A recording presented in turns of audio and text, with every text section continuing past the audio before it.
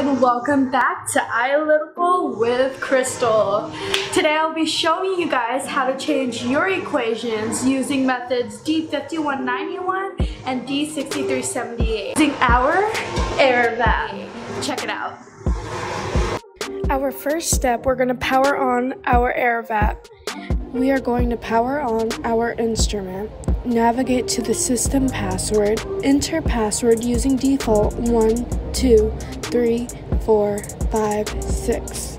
To unlock level 6 permissions, navigate to our settings under method. Set method and formula to achieve desired equation. Set method to ASTM D5191 Set formula as below. See on screen for the correct formula. I will also show you D6378. You will click down and change your method to 6378. Please see formula below.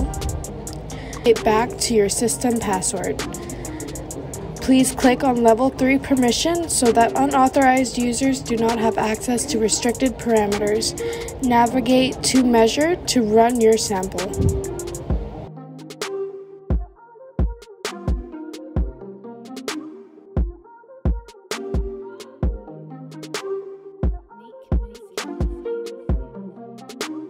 Make sure to like and subscribe our videos for more.